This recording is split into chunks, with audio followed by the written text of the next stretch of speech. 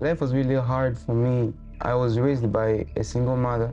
My father died when I was in grade four. I was depressed knowing that there's nobody to provide for the family. So as a result, I started hustling for my family and not thinking about school. In fact, I had no hope of going to school. I was in charge of digging the foundations for large buildings, carrying heavy blocks on my on my shoulders. It was physically challenging for a young boy like me. At that age, I was really young. I was 12 years old. My mother became desperate to say that my children need to go to school. So, my two sisters were taken by my uncle. And then I was taken by my mother's friend. I call my aunt. She started abusing me. She demanded sex from me every day.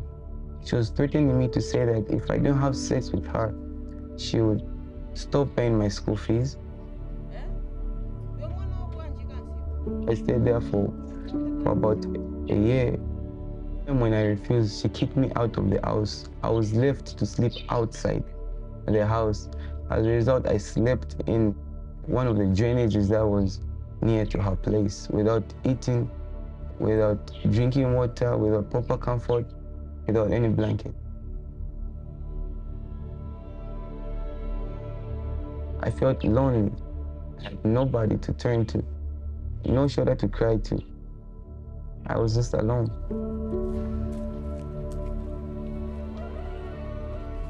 I went to my mother's place. She confronted the same friend and they argued. But I said, Mom, you can't do anything. It has already been done. She was like, My son, I'm so sorry. Then she started crying and every time she, she cried, I felt bad. I felt as if I wasn't supposed to be born in that family.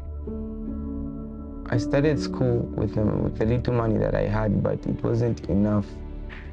Every time the fee expired, I would be kicked out of school. So as a result, I just stopped and stayed home, just trying to provide for my family. And I started thinking to myself to say that school wasn't meant for me. I started feeling the evil things they were doing to me to say they were normal.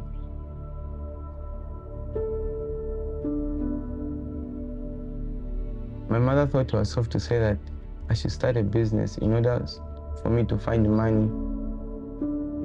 So sometimes she, she was the one going to the market selling. Sometimes I was the one going to the market selling. So there's this day where we went together.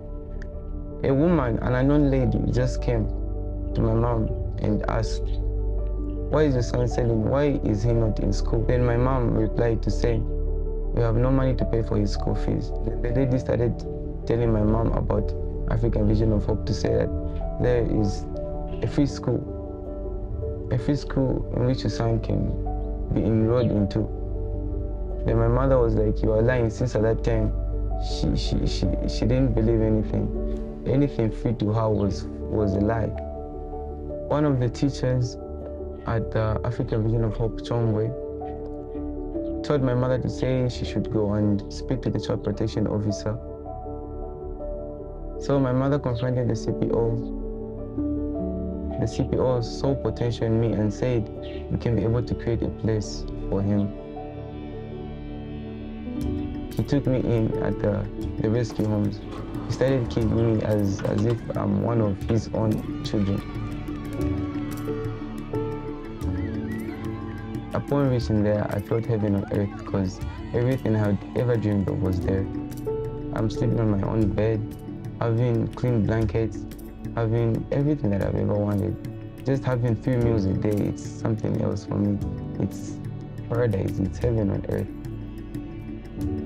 When I was at the African Vision of Hope boarding in Chongwe, Mr. Fizo, the same CPO, and he's the patron, introduced me to Jesus Christ. Now that I set Jesus as my example, I'm free. I'm free from thinking about the things that happened in the past. In fact, I'm free because Jesus is in my life now. It's, it's all because of the, the patron. Next year, I'll be graduating. I'll be having my school certificate and hopefully, I know that my mom will be very proud of me, and that's what makes me happy. After I graduate, I want to go to the university and I want to be a pilot. I just want to say thank you to the African Vision of Hope for everything that they have given me, everything that they're doing in my life, because without them, I wouldn't have been here. They revived the hope that was in me. Um, there's this saying that that's in my family, they say, um, a problem shared is a problem solved, but I say a story shared is a story helped. So thank you for everything that you're giving us. Thank you for everything that you're providing for us, and may God continue blessing you.